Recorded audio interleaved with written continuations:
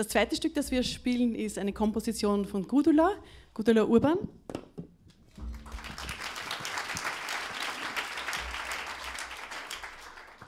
Blues by Go.